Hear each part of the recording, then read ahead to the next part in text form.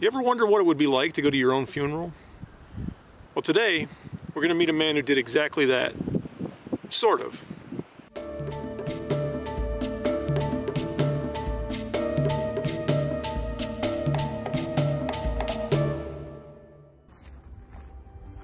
The year is 1804, and Captain Sam Jones decides to help his neighbors move a barn.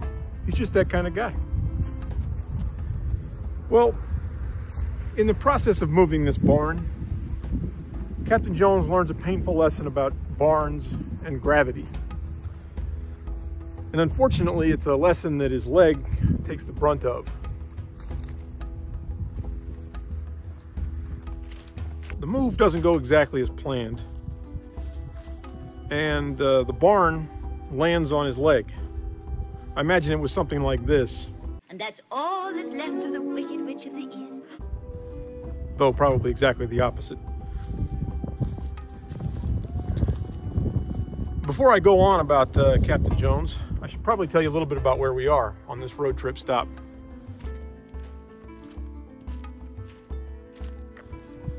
Washington, New Hampshire is located in southern New Hampshire, um, about two hours south or so of its uh, similarly named famous mountain.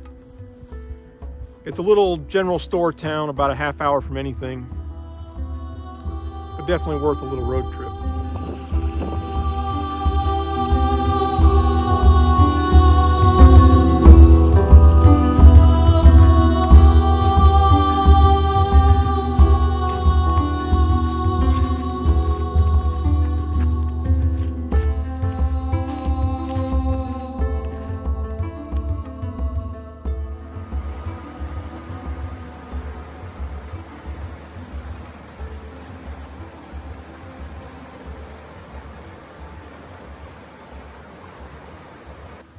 Okay, road trip background done.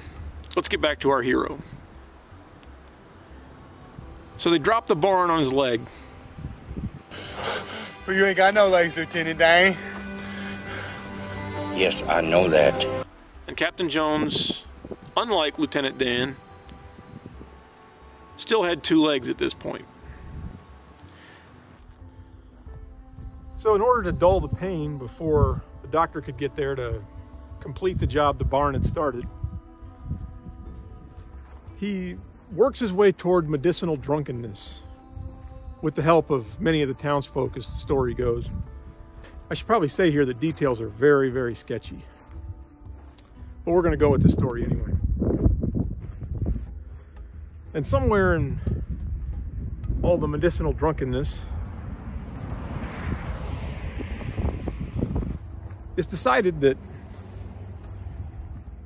the most important thing to do or the most obvious thing to do when you have a essentially a drunken amputation is to march or I assume in Captain Jones's case hobble down to this cemetery to have a funeral for your leg. So, as the story goes, that's exactly what happened. Now, Washington's not that big, so they didn't have to hobble far. But I'd like to imagine that the funeral was complete with clergy and maybe even a band, everybody dressed well. I don't know if that's the case or not, but I'd like to think that it is. But in any case, at the end of it, Captain Jones's leg was buried right here. And that is how Captain Jones came to attend his own funeral, sort of. If you like this video, please punch the like button. Share it with your friends maybe. And uh, if you want to see more content like this, please hit the subscribe button. I'd really appreciate it.